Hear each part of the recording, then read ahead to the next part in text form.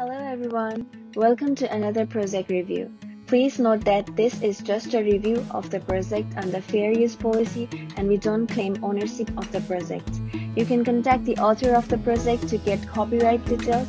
If you have any questions, feel free to send an email to us at codeprojectsorg at gmail.com. Now let's get back to the video.